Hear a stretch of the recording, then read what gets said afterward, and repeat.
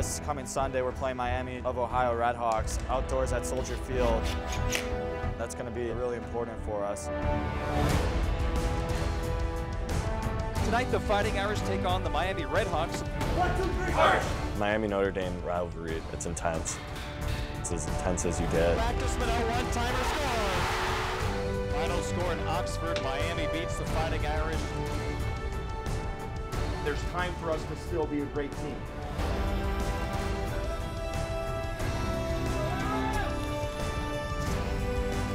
Enjoy the experience of being here, but what a great experience it would be with a victory.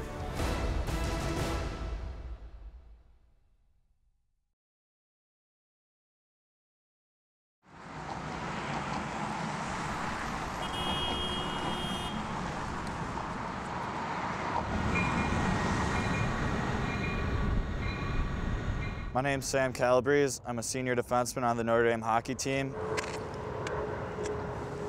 We're here at South Park in Park Ridge, Illinois. This is where I learned to play hockey. In the summer, this is a football field out here, but uh, as soon as it starts to get cold, you'll see the grounds crew just spraying giant hoses on it. So whenever you saw that, all the kids around the neighborhood got really excited knowing that I should be ready pretty soon. He liked skating because he liked the speed, but then once he was in hockey skates and he started really skating fast, he adored it. I'd come out here after school with my brother and we'd play for hours. My mom would bring us food for dinner and, um, you know, we'd play through the night. Sometimes I'd go back and I'd see if he was too cold, and he'd say, No, I want to stay, bring me back hot chocolate. We didn't really use nets out here, we'd use cones as goals. It was all about passing and working in small areas. I think everyone probably starts the game playing outside, whether it's in your backyard or a neighborhood ball field or even on the street in some instances. But I remember we used to play for hours on end.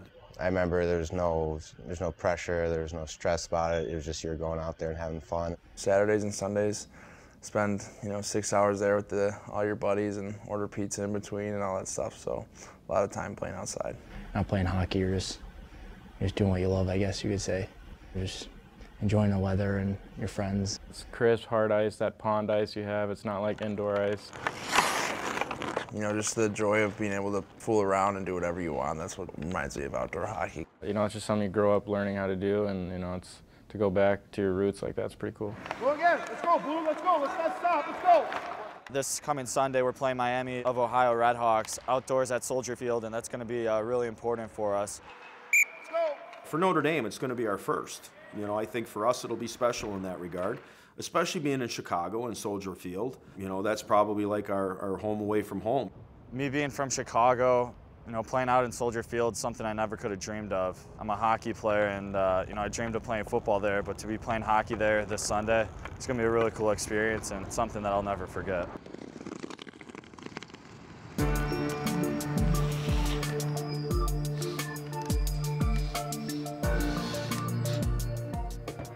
My name is Dave Gilbert. I started here in 1998 and I am the equipment manager. This week is preparation for our first outdoor game and kind of a big deal as far as unveiling the new helmet. Football moved to these last year, so we're going to stick with the Notre Dame brand and, and we're going to unveil these on Sunday outside and then we're going to roll with these moving forward.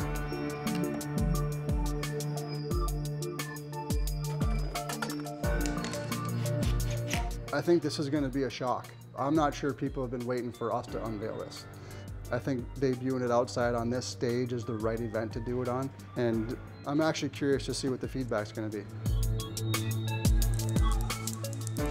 Going to get packed up here. We're heading to Miami, Ohio for our conference game on Friday night, and then we're going to head right to Chicago for a Soldier Field uh, game on Sunday afternoon.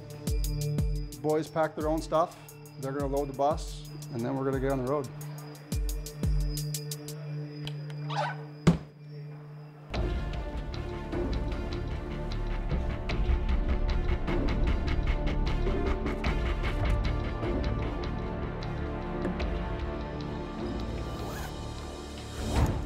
This weekend we knew was the biggest weekend of the year, and it was uh, a make or break weekend in my opinion.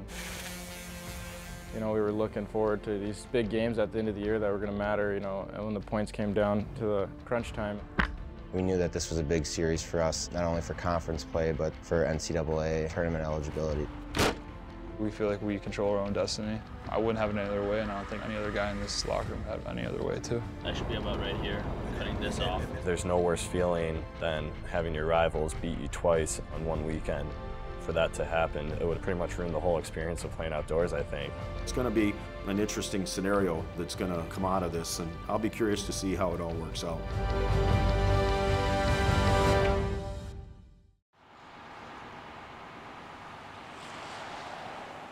Miami Notre Dame rivalry, it's intense. It's as intense as you get. No, it's just two different mindsets, I feel like, with both teams. Every year, you know, we're always battling for the top position between them usually, and we know a lot of their guys, you know, we've played with them in the past. They've obviously got a great program over there, and we're trying to prove that we can battle and compete with them. We know we're going into a very tough venue. We're going into play the number one team in our conference right now. You know, it's a team that we always have a great time playing, and on the hockey side of things, it's a big deal to us. From an on-ice perspective, it's probably the toughest physically series that we have in the CCHA, and it's been like that since I've been at Notre Dame. They always play us tough and physical and very explosive team, so we got our hands full, but uh, we're looking forward to the challenge. Live from Steve Cady Arena inside the Goggin Ice Arena in Oxford, Ohio. We're, we're Tonight, the Fighting Irish take on the Miami Redhawks in the first of a two-game series. Miami has dominated the series recently, so the Irish have their work cut out for them. It really doesn't matter what happened in the past. It, it comes down to these last few weekends of the year. You want to enjoy the experience. This is what you play for in February. We've had our highs and lows, but we have a chance this weekend to set us up well for the rest of the season and the playoffs. This is what you wait for, for these type of moments. Every way you look at it, this weekend's going to be huge. Let's play on the edge, but let's not cross over. All right, let's have a great first. Here we go, boys. One, two, three, march!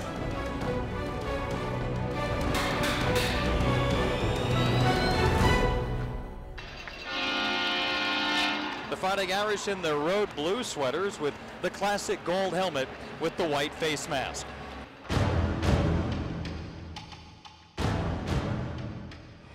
The teams come to the center circle. Anders Lee digs in. The puck has been dropped and away we go. CCHA action from Oxford. It's the Irish and Miami.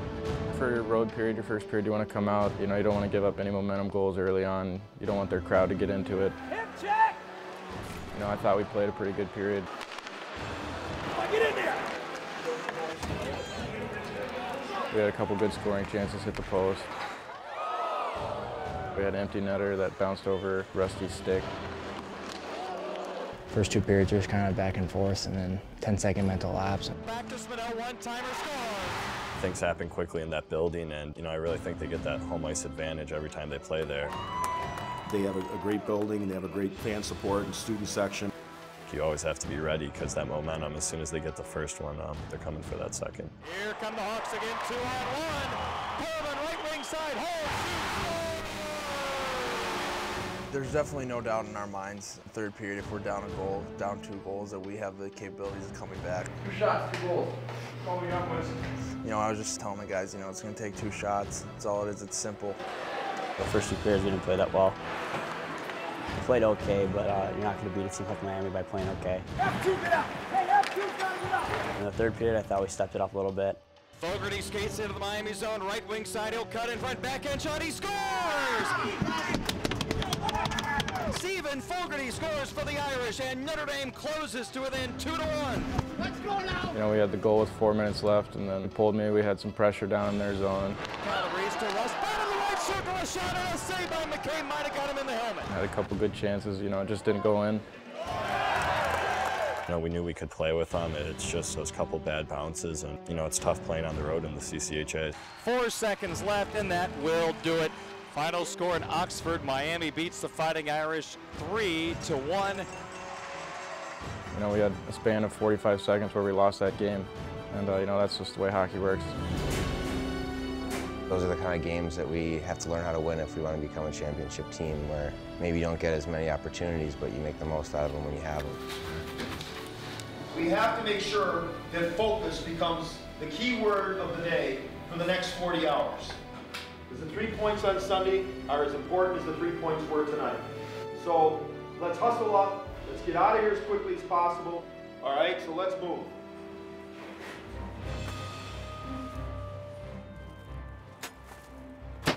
I think anytime you lose a game, especially a tough one like we did, going on a bus ride is the last thing you want to do. To have to bus to Chicago after that Miami game, it, it was definitely a grind. I mean, no one likes to lose, so I don't think anyone was going to be happy after that game. It gave us time to, you know, kind of reflect on what we did good, what we did bad, let us focus on what we needed to do to win. Guys were trying to get the game in the back of their mind so they could start focusing on Sunday.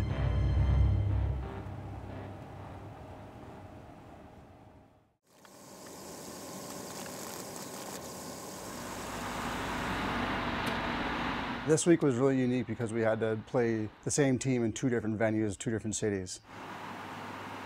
Logistically, that comes with traveling in between the cities, checking into two different hotels, you know, and setting up in two different arenas. Our bus ride was definitely tough, getting in that late, but those guys are definitely the unsung heroes.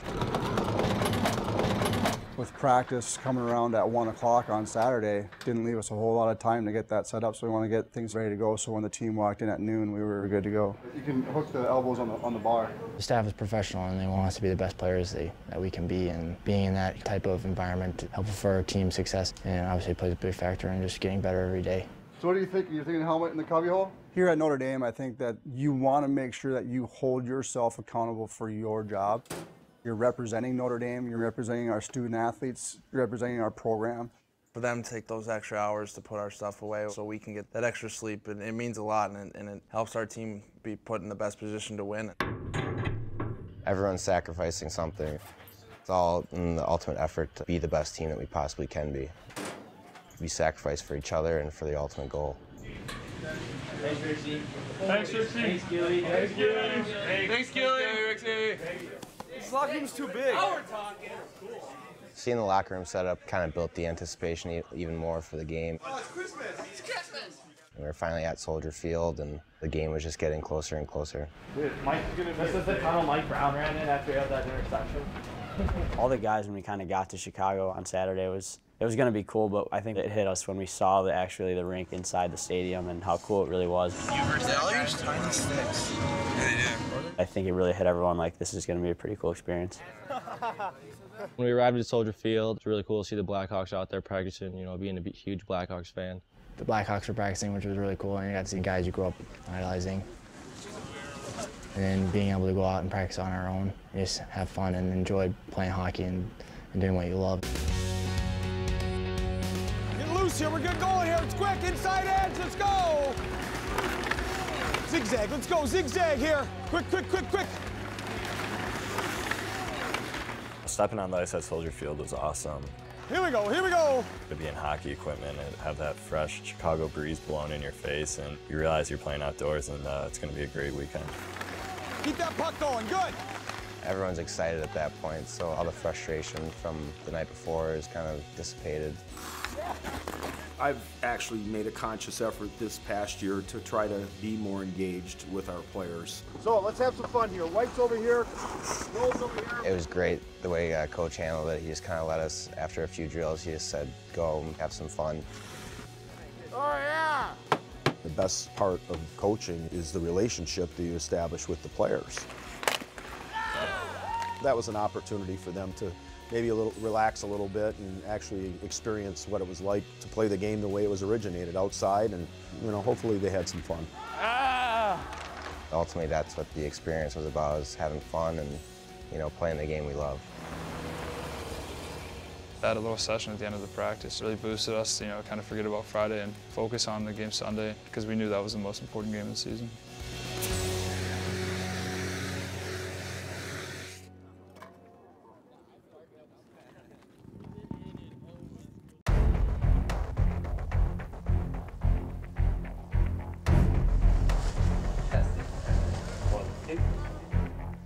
As you wake up Sunday, you know, the day's finally there. And welcome to Soldier Field in Chicago. The Fighting Irish getting set to take on the Miami Redhawks. You're playing one of your biggest rivals outdoors, one of the greatest stadiums in the world. That is the first outdoor game in the Division One era for the University of Notre Dame. Enjoy the experience of being here, but what a great experience it would be with a victory. Then all of a sudden you can talk about it. That's your mindset is, you know, you have to win this game. To get those three points, we're, we're going to be crucial. Our Lady, Queen of Victory. Great for us. Go, boys, go!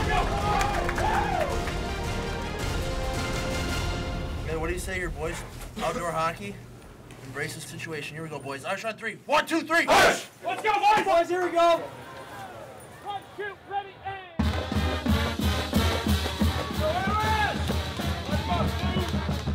Walking out on Sunday was a pretty neat experience. You know, you get 25 of your best buddies going out to play a hockey game outside in front of 40, 45,000 people. It was pretty amazing.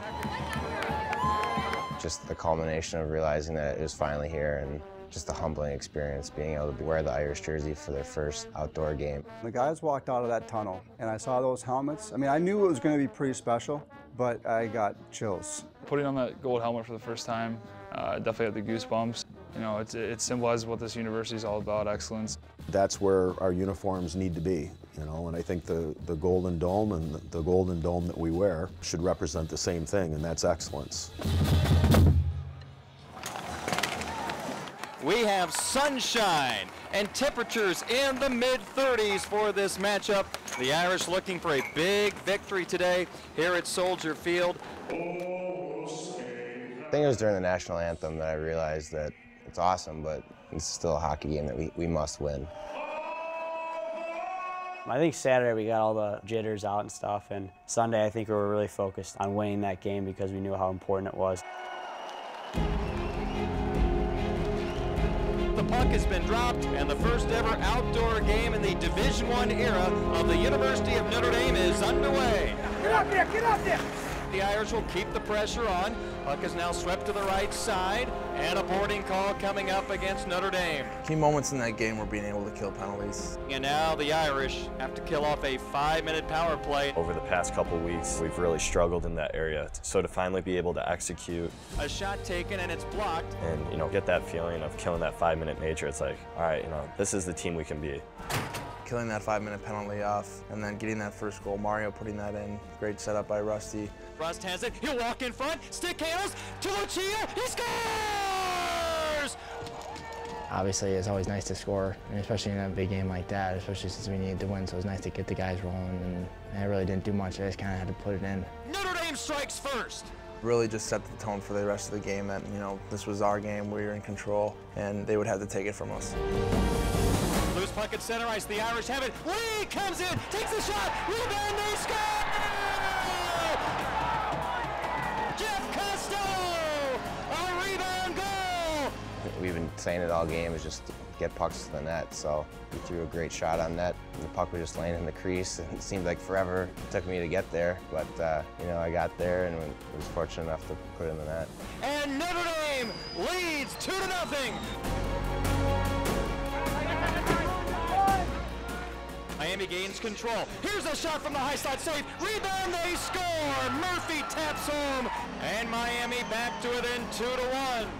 You know, we went through a tough game on, on Friday night where we gave up a goal within a, a minute or two of the first goal. Come on, we gotta answer the bell, let's go! When Miami scored to make it two to one, I had to remind them again that, hey, we're okay. You know, we don't have to panic. Relax. Be confident in what you're capable of. Let's not worry about giving up the next one. Let's go and score the next one. Next one's ours, boys, here we go! Our guys responded, and that was really a huge moment for our team to be able to respond and play extremely well after Miami scored. Miami recovers. They'll quickly move it to center ice. They'll dub it in the Irish zone. We're down to three. We're down to two. We're down to one. And the Fighting Irish win in the Windy City.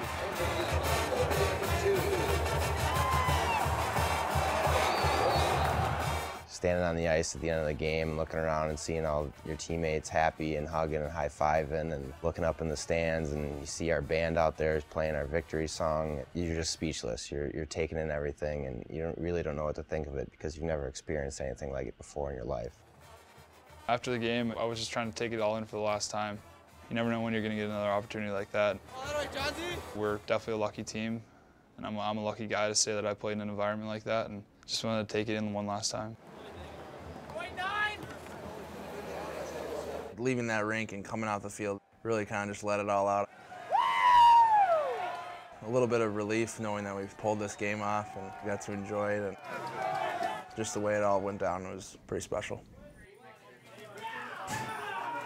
We played the game the way we need to play the game if we want to be a great team. And there's time for us to still be a great team.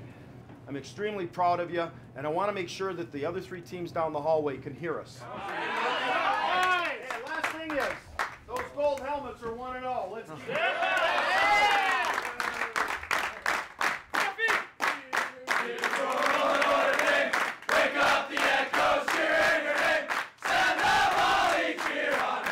After we got the win, just knowing that you can look back and you don't have to say, oh, what we lost.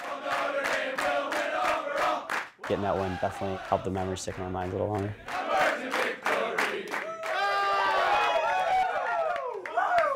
Guys, what about a, a hand for the support staff, Gilly and Rick staff? A lot of work, a lot of work. Helmets, go in helmet bags. Great game. A lot of fun. Sammy, good job, man. After the game, I think that's the time you really got to reflect on how important that win was for us. You know, you can't really take it in unless you win, and that's how I truly feel. Obviously, if you win the game, it becomes a memory a lot more so than if you lose the game. So I think it was important for us to enjoy the overall experience. Winning the game was the most important thing.